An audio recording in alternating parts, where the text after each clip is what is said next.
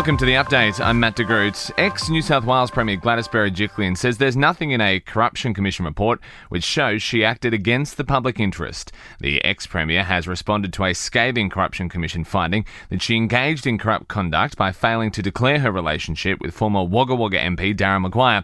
Ms Berejiklian says at the time she worked her hardest in the public interest and nothing in the report demonstrates otherwise.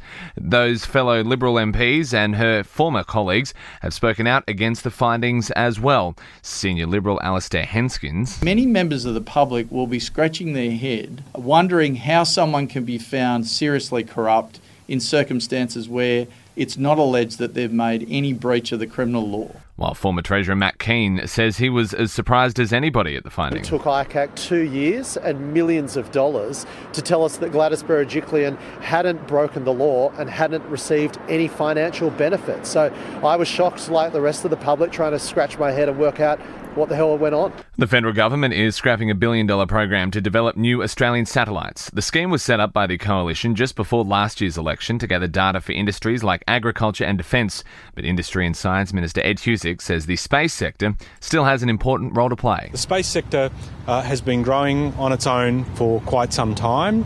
Uh, it has obviously put on a number of jobs in that process, particularly helping in the communications arena uh, in being able to provide equipment that's needed there.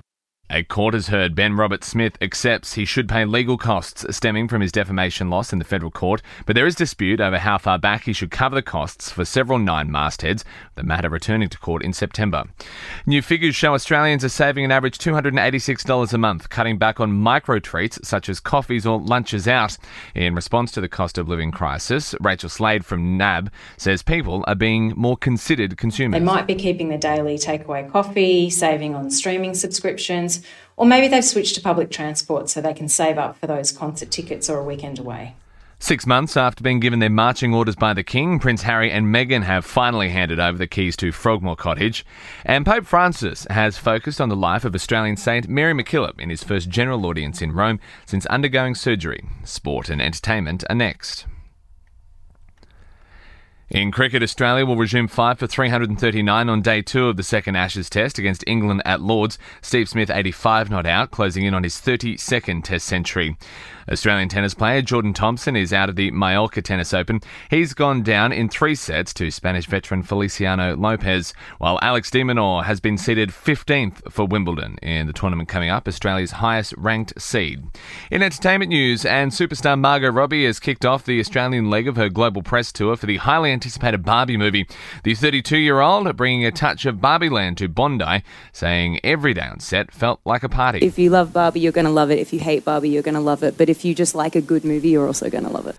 And opening arguments are expected this evening in the sexual assault case of Kevin Spacey. The four week trial in the UK covers 12 charges of sexual assault, indecent assault, and causing a person to engage in sexual activity without consent.